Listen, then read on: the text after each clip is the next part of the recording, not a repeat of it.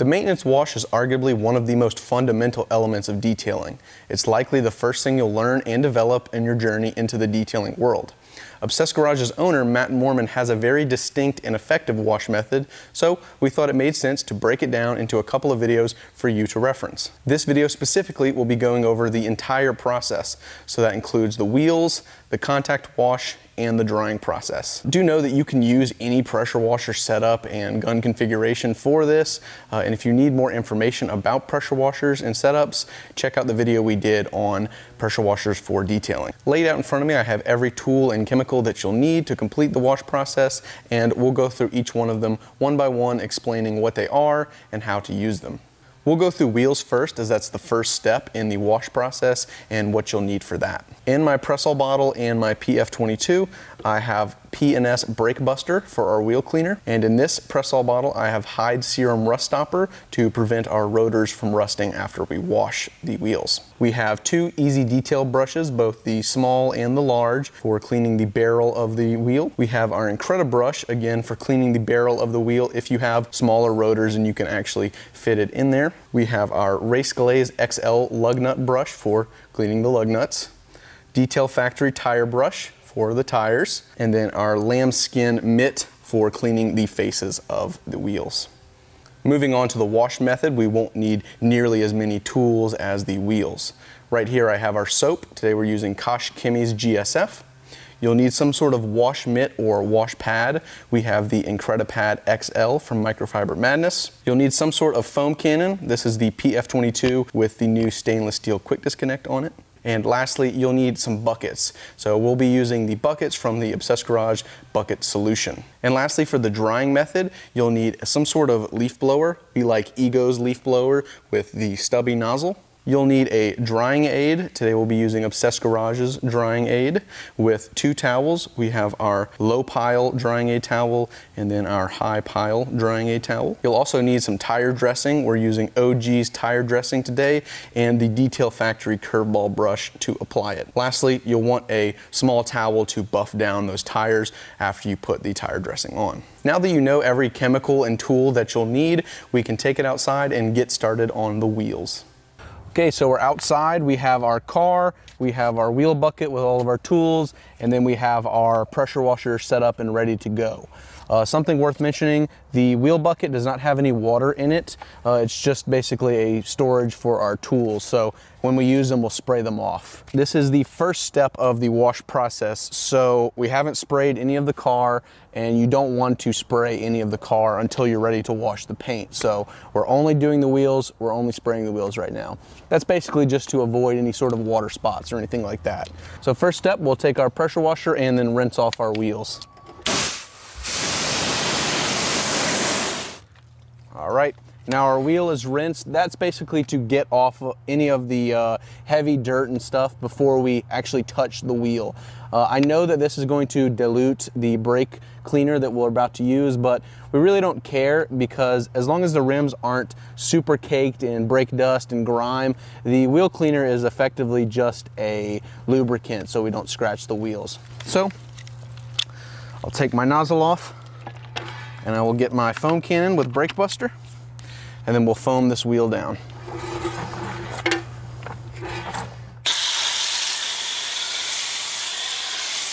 Foaming the wheels isn't exactly necessary, uh, but it does provide a lot more coverage and honestly, it's just a lot more fun than using a spray bottle. If you don't have access to a foam cannon, you can uh, clean your wheels with just a spray bottle, you'll just want to make sure that you get even coverage on the tire, the rim, and in the barrels as well. So let's jump right in and get started on hands-on cleaning the wheels. First step, I'll take my Incredibrush brush and we'll uh, clean out these barrels. So I'm just going to wet it down first.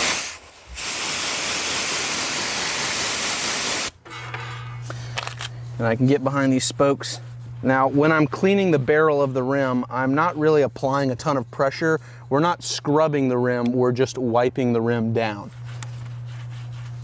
There we go. And now we can move on to the lugs. So I'll get my race glaze brush out, again, wetting it down. And we'll get in here and clean these lugs out one by one. Now the intricate areas are done. We can get our lambskin mitt and then clean the faces. Get a good grip on it. All right. I'll start on the outside of the rim just to get that recessed edge and then work my way in.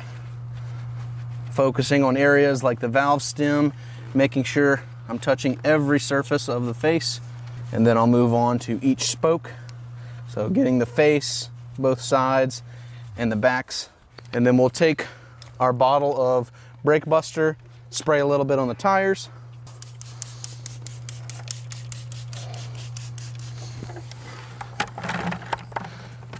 We'll get our Detail Factory tire brush. Again, wet it down real quick.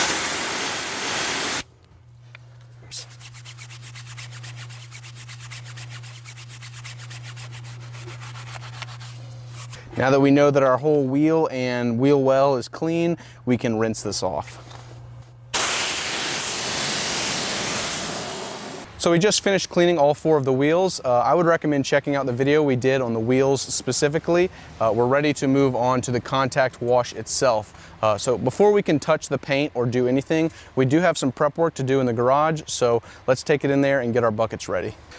So we have our two buckets right here, our soap and our foam cannon, as well as our bucket filler. So we're gonna fill our rinse bucket, prepare our foam cannon, We'll take it outside, rinse the car down, and then we'll come back and fill our wash bucket.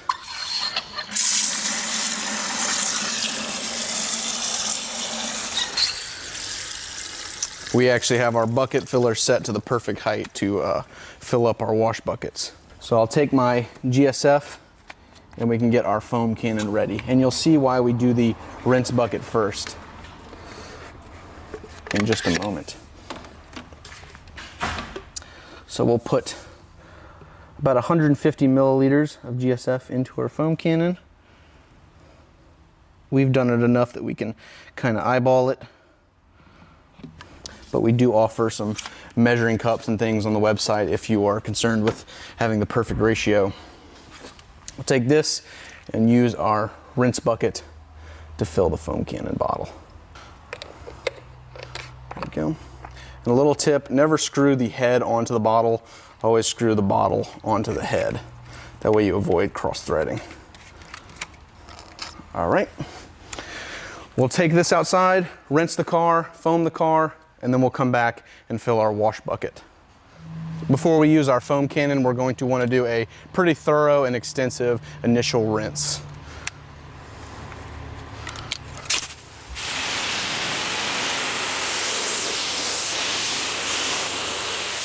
You'll notice I'm washing from top down and I'm especially focusing on troubled areas like the bottom of the car, the front bumper, and the back bumper.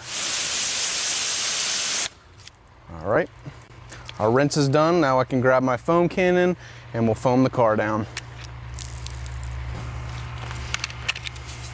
And make sure it's turned all the way up. And you start foaming.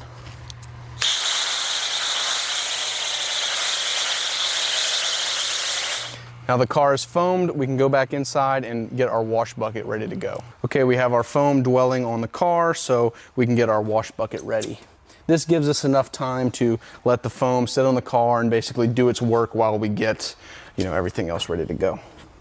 So I'll take my wash mitt and I'll apply my soap to the wash mitt itself. Just gonna give it a little drizzle of soap. Put this in the bottom of our bucket and then we'll use our bucket filler again. Use my ultimate bucket filler nozzle to agitate that and get the foam. And you'll see how quickly this fills up. And then depending on how big your car is, you'll probably have some foam or some soap left over in your foam cannon. So we'll take this off and dump the rest into the bucket.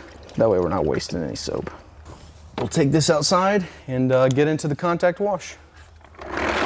So from here, it's pretty simple. All we got to do is wash the car, starting from top down, going panel by panel, and you know, use your judgment. You want to start with the least dirty sections and then work your way down to the most dirty sections. So I'll kind of walk you through that process right now. Some soap on the pad. And I'll start with the roof. Moving in straight directions, so north, south, east to west, no circles, because that's how we induce swirls. So I'll do the roof, back glass. I'll flip this over to the fresh side. I'll do a pillar and the glass right here. Another thing worth mentioning is I'm not pushing into the pad or scrubbing. I'm basically just holding it on the surface. So don't push, but don't have your fingertips because you don't want it to fall on the ground or anything. All right, rinse, get some more soap, and I'll do the front glass. Now, your rinse bucket and your wash bucket are there to be used, so don't be afraid to do a really small area or revisit the rinse bucket as many times as you need to. You know, they're there for, you know, to be used, and the more you use your rinse and wash bucket, the safer you're being, you know, theoretically. Now I'll move on to my doors and my mirrors. I like to divide these up into about midway down the door and below. So I'll use the one side of the mitt for the top half. Get my door handle right there. I'll flip it over and do the bottom section.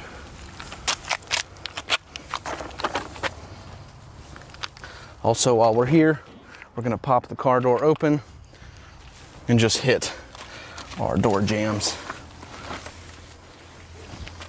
And then right the door right there.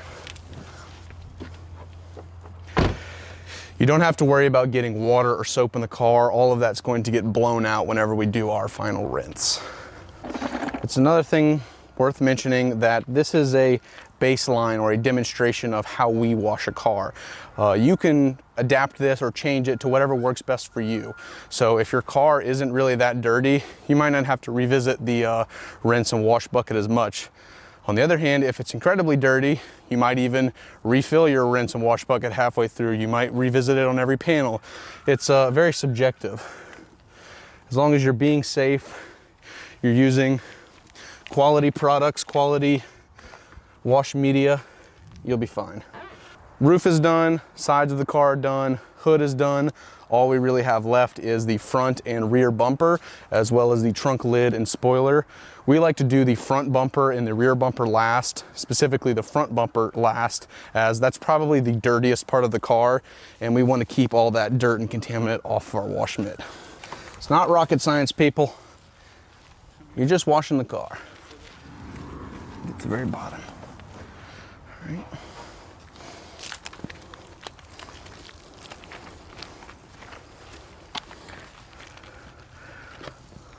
Alrighty. That is our hands-on washing done. Now, before this soap dries, we're going to want to get our pressure washer and rinse it off. Make sure we get no soap spots, water spots, anything like that.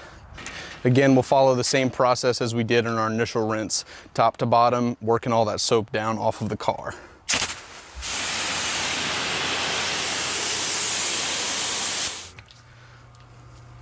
Okay, with our final rinse done, we are fully done and complete with the contact wash.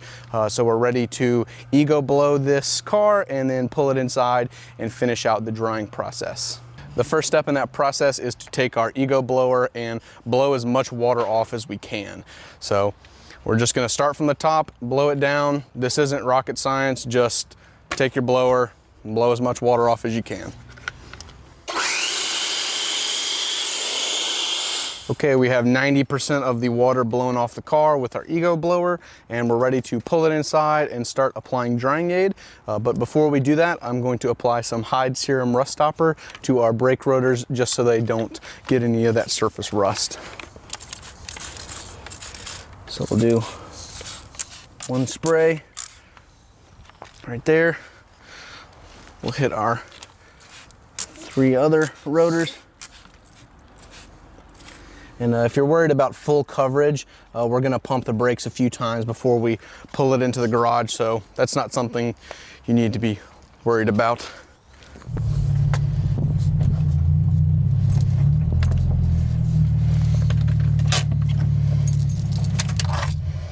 Car's inside. We are ready to start applying our drying aid.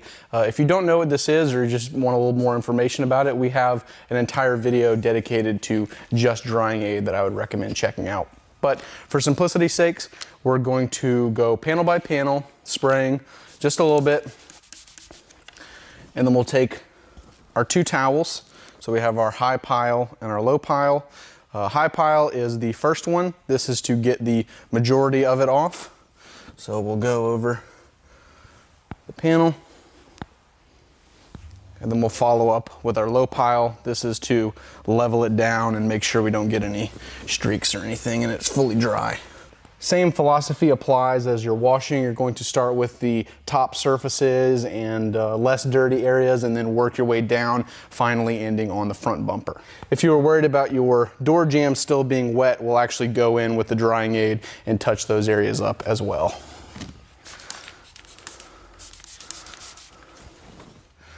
All right, so we'll continue around the entire car and then we'll meet back up to do our tire dressing and then finish this out.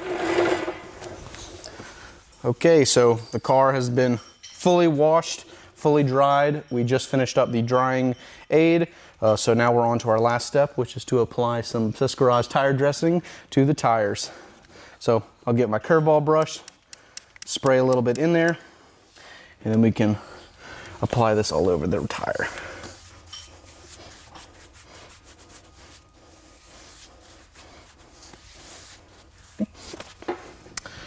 Now I'm going to apply some tire dressing to the other three tires and then we'll come back and buff it off to a matte finish with our towel.